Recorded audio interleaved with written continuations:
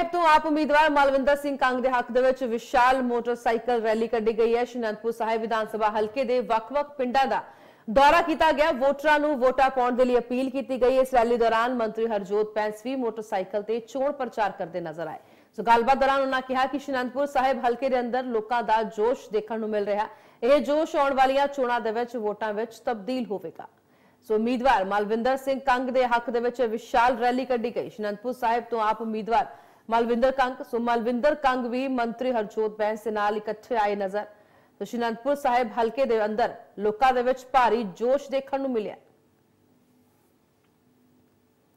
ਸੋ ਸ਼ਨੰਦਪੁਰ ਸਾਹਿਬ ਦੇ ਵਿੱਚ ਇਹ ਵਿਸ਼ਾਲ ਰੈਲੀ ਕੱਢੀ ਗਈ ਮੋਟਰਸਾਈਕਲ ਰੈਲੀ ਚੋਣ ਪ੍ਰਚਾਰ ਦੇ ਲਈ। ਇਹ ਰੈਲੀ ਕੱਢੀ ਗਈ, ਜਿੱਥੇ ਕਿ ਮਾਲਵਿੰਦਰ ਕੰਗ ਵੀ ਹਰਜੋਤ ਬੈਂਸ ਦੇ ਨਾਲ ਮੋਟਰਸਾਈਕਲ ਤੇ ਸਵਾਰ ਨਜ਼ਰ ਆਏ।